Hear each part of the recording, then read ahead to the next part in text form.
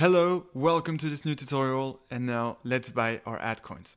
So as a reminder, we're now making a function so that we can get the buy altcoins action in MyEtherWallet and exactly as what we just did for getting the equity in altcoins of an investor, we are going to make a new function here which we'll call buy altcoins and which this time will not return anything but will update three variables right after the investor buys some altcoins. And these three variables are first, the equity in altcoins of the investor, second, the equity in dollars of the investor, and third, the total altcoins bought, which is, I remind, the total number of altcoins that have been bought by the investors. Because indeed, as soon as an investor buys some altcoins, well, this variable is updated and it is increasing because some new altcoins were bought.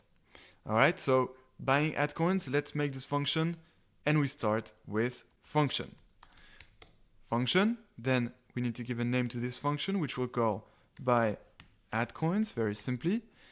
And then this function will take actually two arguments this time. First, the address of the investor, because it's actually the investor that will call this function to buy some altcoins. So we need to specify here the address of the investor, but keep in mind that address here is the type of the variable and investor is the name of the variable.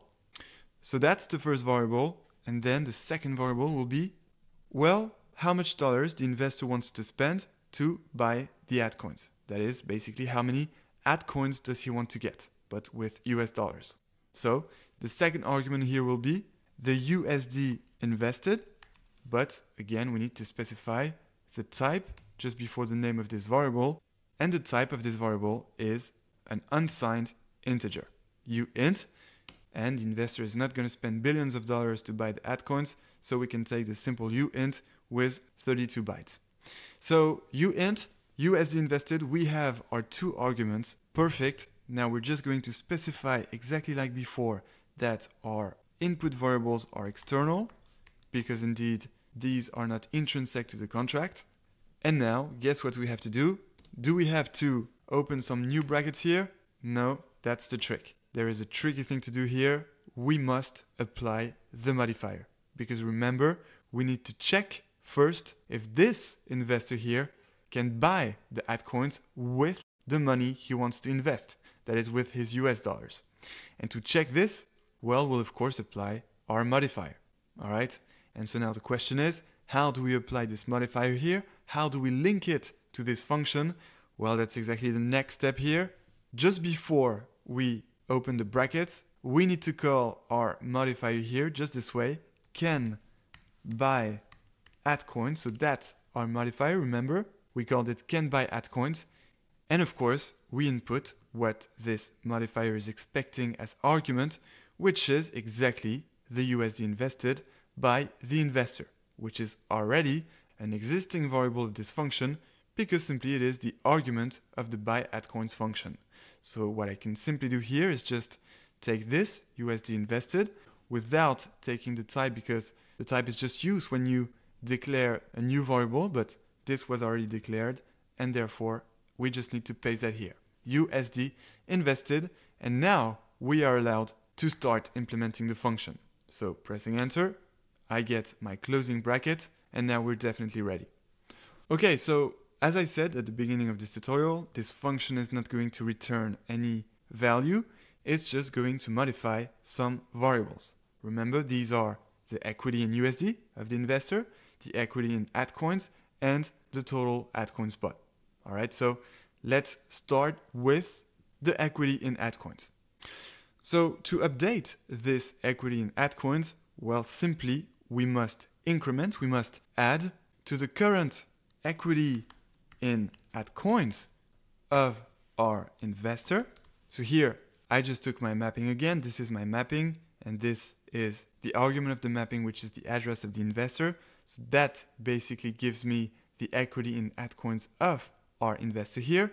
And so that's exactly the variable that we need to update right now. And to update it, what I want to do is add to this equity in altcoins, well, the altcoins bought by this investor when he pays this amount of US dollars. That is, this USD invested amount of dollars.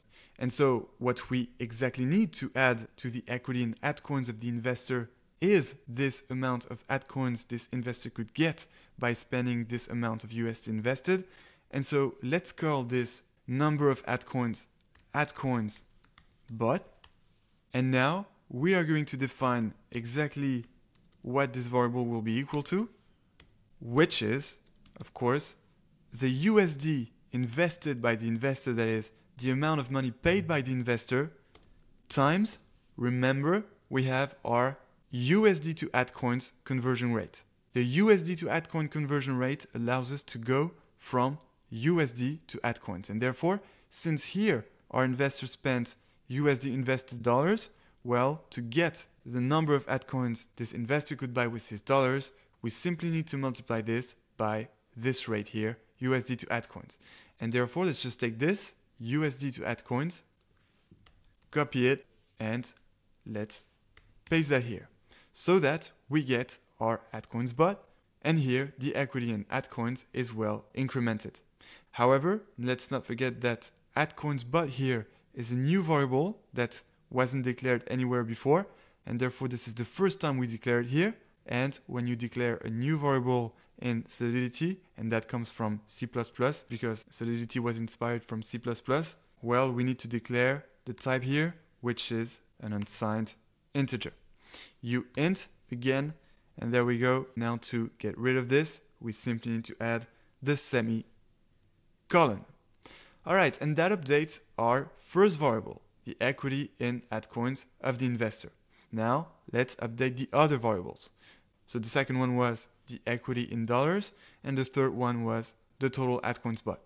So let's start first with the equity in USD. So that's why I'm copying this because the equity in USD is simply the mapping equity USD taking the investor's argument, the investor address. So that gives us the equity in USD of the investor. And now, how do we update the variable the right way after the investor buys the altcoins? Well, simply what we could do is update it this way. We can take our equity in altcoins of the investor, which is exactly this, and paste it here, and then divide it by the USD to altcoins conversion rate, that is 1000.